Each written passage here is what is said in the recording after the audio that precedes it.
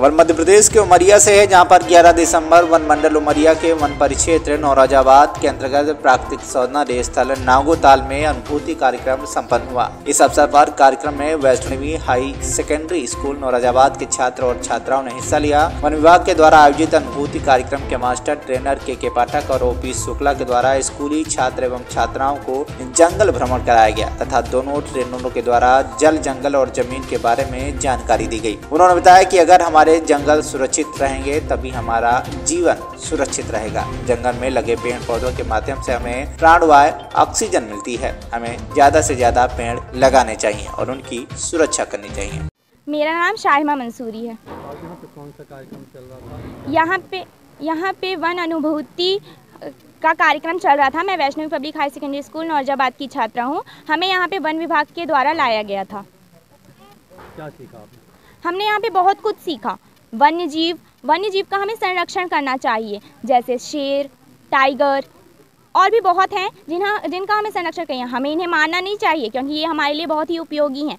अगर ये नहीं रहेंगे तो हम भी नहीं रहेंगे। वन्य संरक्षण भी हमें करना चाहिए। वन से हमें बहुत सारी औषधियाँ भी मिलती हैं। फल मिलते हैं, फूल मिलते हैं। इनका इलाज भी होता है, पी पीलिया, मलेरिया, ये, इन सब की दवा है। शुक्ला रिटायर्ड रेंजर वन मंडल उमरिया मास्टर ट्रेनर हूँ।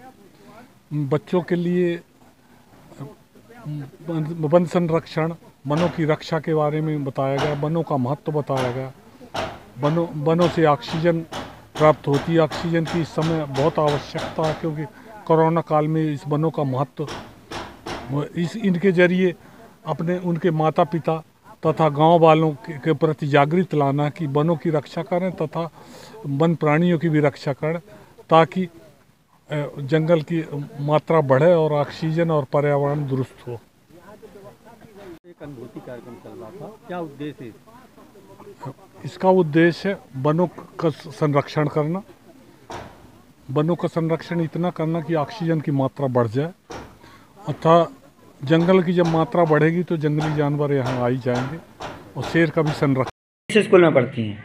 मैं Vaishnavi public higher secondary school में पढ़ती हूँ। कल आप कहाँ गई थी और आपको क्या समझाया गया? कल मैं नागोताल गई थी।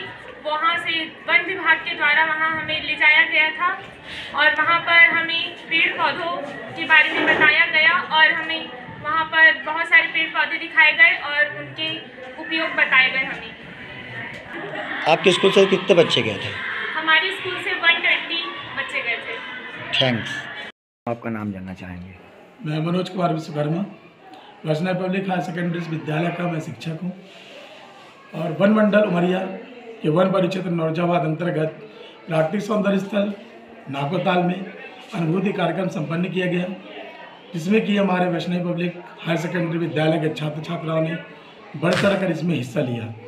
इसमें प्रमुख जो मास्टर ट्रेनर थे, श्रीमान के के पाठक जी और श्रीमान ओ पी शुक्ला जी ने बच्चों को जंगल पर मतलब भ्रमण कराया और जब बच्चों को जंगल भ्रमण करने के दौरान उन्हें विभिन्न प्रकार की, विभिन्न प्रकार की जन औषधियों के बारे में, पेड़ पौधों के वृक्षों के बारे में विभिन्न प्रकार की जानकारियाँ प्रदान की गई। वन मंडल उमरिया के द्वारा अनुभूति ट्रेनिंग कैंप का आयोजन किया गया था। जिसमें विद्यालय के लगभग 120 बच्चों ने तथा चार से पाँच शिक्षकों ने भाग लिया।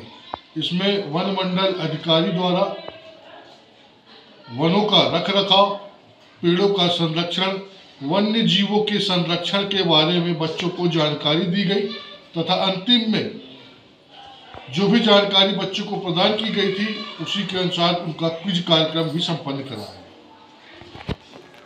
उमरिया से राज मोहम्मद की report TV one India news.